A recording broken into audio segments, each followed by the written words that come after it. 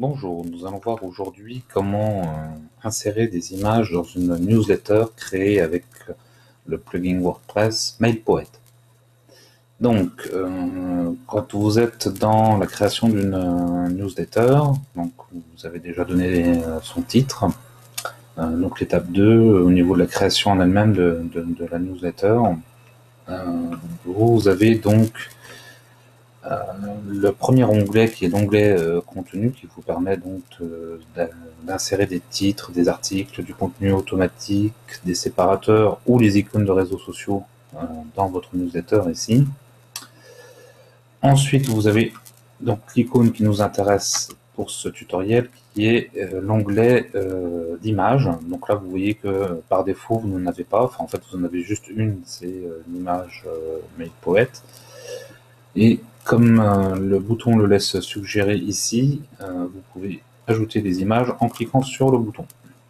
Donc là, vous aurez la possibilité euh, d'ajouter des images soit en les téléchargeant de votre disque dur, soit en utilisant d'autres images de newsletter, et enfin en utilisant les images de vos articles WordPress. Donc on va commencer par la première solution, donc télécharger des images. Donc ça, ça marche exactement comme euh, l'insertion d'image euh, dans un article WordPress. Donc vous allez dans votre euh, disque dur. Donc si hop, que je trouve les images, voici. Donc je vais prendre des images euh, au hasard. Je vais ajouter euh, les deux images que j'ai dans ce dossier-là. Pour euh, sélectionner plusieurs fichiers, il vous suffit de maintenir la touche CTRL enfoncée. Voilà. Donc là j'en ai deux, j'utilise les deux. On clique ensuite sur ouvrir. Les images vont s'insérer dans la bibliothèque WordPress et par la même occasion donc dans, dans la newsletter. Voilà, on va les retrouver normalement. Voilà. Donc on les retrouve en double parce que je les avais déjà tout à l'heure. Hein. C'est pas grave. On va supprimer et suppression. C'est très simple. Voilà. Supprimer la deuxième aussi. On ne conserver que nos deux images ici. Ensuite, euh, pour insérer des images à partir des articles WordPress, vous cliquez sur le bon onglet.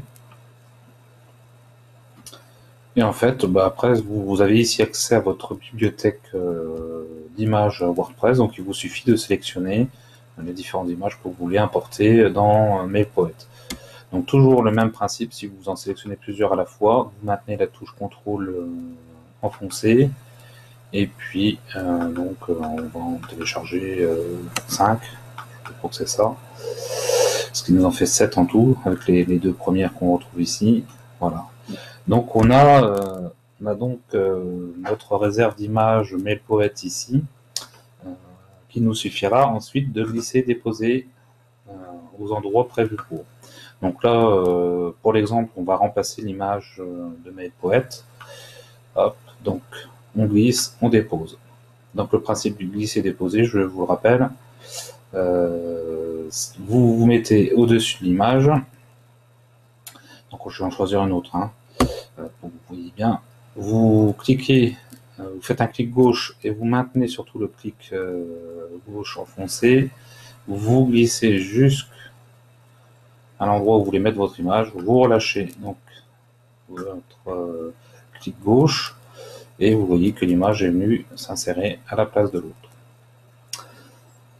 Voilà, bien écoutez, ce tutoriel est terminé. Je vous dis à bientôt pour un prochain tuto. Ciao, ciao